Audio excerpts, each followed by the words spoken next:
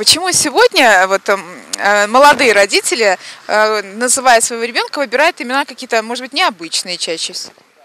Ну, потому что как-то имена более не распространенные в нашей стране. Они более красивые, может, для молодого, молодого поколения считается. Скажите, а вот с именем Гераклит легко ребенку будет жить в дальнейшем? Я думаю, нет. Ну, то есть выбирая... Я даже не слышал такого имени, честно.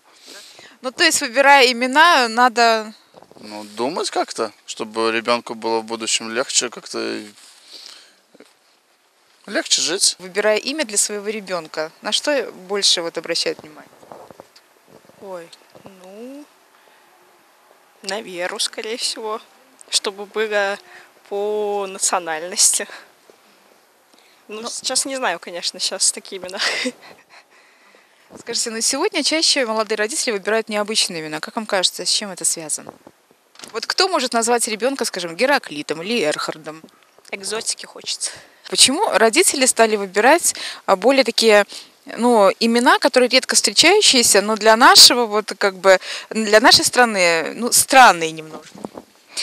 Ну, потому что это необычно. Потому что Кать, там Саших очень много, а вот какое-нибудь такое экзо- экзотическое имя, ну, это интереснее всегда. Наверное, каким-то латышским примерно, потому что я латышка.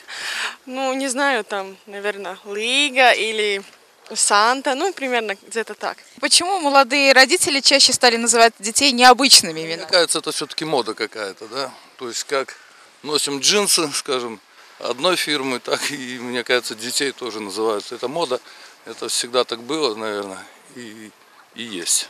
Я надеюсь, сегодня не появится ребенок. Но сегодня нет, но в дальнейшем будущем. И тем не менее, вот про имена, да? Тут какие имена у нас пользуются популярностью? Не знаю, сейчас, наверное, иностранные уже. Мне нравится имя Вазген. Вазген, серьезно, очень нравится. У вас грузинские корни? Нет, просто имя это нравится. А если, а если девичье имя? Девичье? Мне нравится Полина. Это мнение наших горожан. А о чем свидетельствуют данные статистики Даугавпилского отделения ЗАГСа?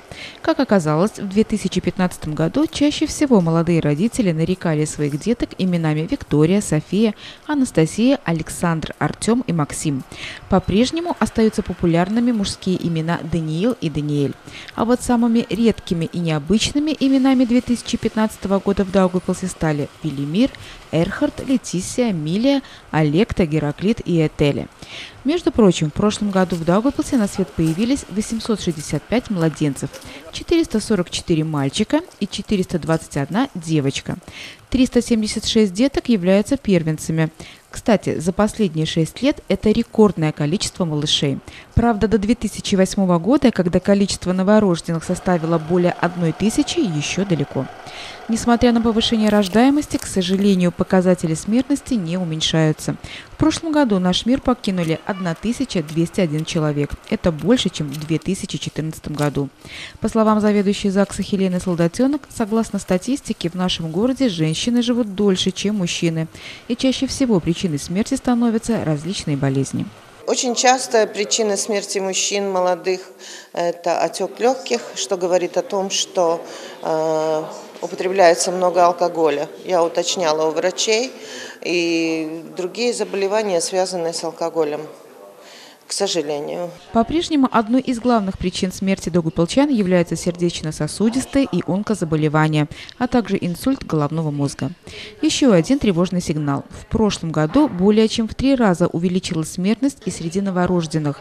В 2015 году из жизни ушли 9 младенцев. Но обвинять в этом только медиков было бы неправильно, говорит госпожа Солдатенок. Были статьи в газетах и так далее о том, что что-то происходит в нашем роддоме, но я думаю, что не в роддоме дело, а дело в том, как женщина относится к своей беременности.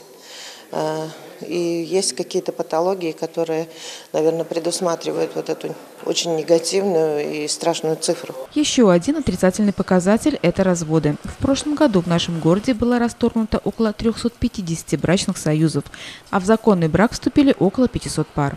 Для того, чтобы развестись, сегодня уже не обязательно обращаться в суд. В настоящее время расторгнуть брачный союз можно и у нотариуса, что, как считает Хелена Солдатенок, не лучшим образом сказывается на институте брака. Нотариусы не уговаривают, они в течение месяца разводят. Если вдвоем пришли, написали заявление, и нет никаких преград для того, чтобы э, оформить э, двухсторонний развод, то это происходит в течение месяца. Суд, суд все-таки дает время на примирение, на решение каких-то семейных проблем. Ну, одни, одной рукой государство дало, облегчило э, работу для судей, с другой стороны, э, нивелирует ценности семейные. Хочется верить, что в 2016 году разводов все-таки будет меньше, а свадеб побольше. Поэтому будущие молодожены следующая информация именно для вас. 3 июня в рамках празднования Дней города на площади перед художественным центром Марка Ротко пройдет коллективное бракосочетание. Ее участниками станут 15 пар. Хотите оказаться в их числе? Тогда спешите подать свои заявления на регистрацию брака в Даугавпилский ЗАГС до 1 марта. А супругов, заключивших брак в прошедшем 2015 году, приглашаем участвовать в грандиозном городском проекте «Свадьба года-2015». Подробная информация о правилах участия появится уже на следующей неделе.